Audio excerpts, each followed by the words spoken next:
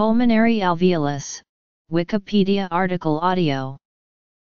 A pulmonary alveolus is a hollow cavity found in the lung parenchyma, and is the basic unit of ventilation.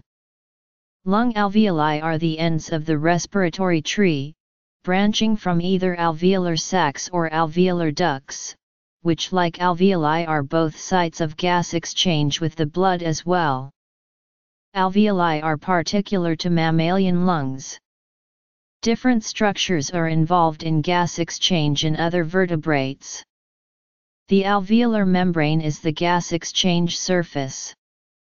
Carbon dioxide-rich blood is pumped from the rest of the body into the capillaries that surround the alveoli where, through diffusion, carbon dioxide is released and oxygen absorbed.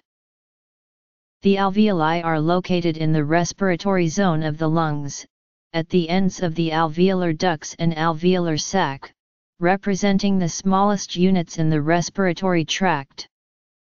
They provide total surface area of about 75 m2. Structure Microanatomy A typical pair of human lungs contain about 700 million alveoli, producing 70m2 of surface area. Each alveolus is wrapped in a fine mesh of capillaries covering about 70% of its area. An adult alveolus has an average diameter of 200 micrometers, with an increase in diameter during inhalation. The alveoli consist of an epithelial layer and an extracellular matrix surrounded by small blood vessels called capillaries. In some alveolar walls there are pores between alveoli called pores of Kohn. The alveoli contain some collagen fibers and elastic fibers. The elastic fibers allow the alveoli to stretch as they are filled with air during inhalation.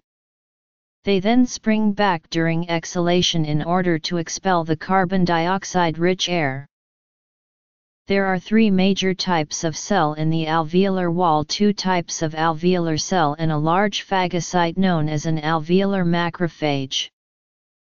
Type I cells are thin, flat cells lining the alveolar walls.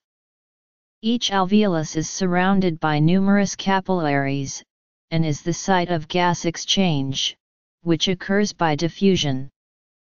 The relatively low solubility of oxygen necessitates the large internal surface area and very thin walls of the alveoli. Weaving between the capillaries and helping to support them is an extracellular matrix, a mesh-like fabric of elastic and collagenous fibers.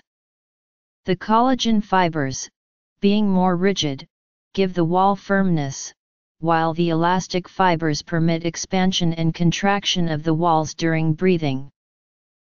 Type II cells in the alveolar wall contain secretory granular organelles known as lamellar bodies that fuse with the cell membranes and secrete pulmonary surfactant.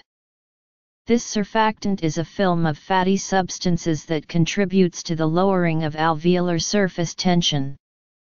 Without this coating, the alveoli would collapse and very large forces would be required to re-expand them.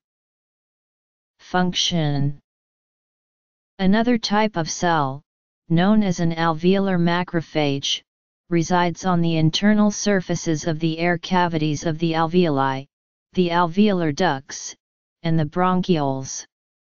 They are mobile scavengers that serve to engulf foreign particles in the lungs, such as dust, bacteria, carbon particles, and blood cells from injuries.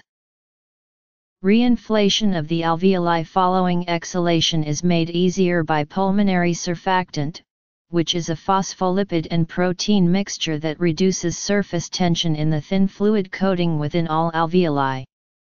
The fluid coating is produced by the body in order to facilitate the transfer of gases between blood and alveolar air. The surfactant is produced by the type II cells which are the most numerous cells in the alveoli, yet do not cover as much surface area as the squamous alveolar cells. Clinical significance Type II cells also repair the endothelium of the alveolus when it becomes damaged. Insufficient surfactant in the alveoli can contribute to atelectasis. Without pulmonary surfactant, atelectasis is a certainty, however, there are other causes of lung collapse such as trauma, COPD, and pleuritis. Diseases Type I cells are thin and flat and form the structure of the alveoli. Type II cells secrete pulmonary surfactant to lower the surface tension of water and allows the membrane to separate, therefore increasing its capability to exchange gases. The surfactant is continuously released by exocytosis. It forms an underlying aqueous protein containing hypophase and an overlying phospholipid film composed primarily of dipalmitoyl phosphatidylcholine, the alveolar macrophages destroy foreign materials and microbes such as bacteria.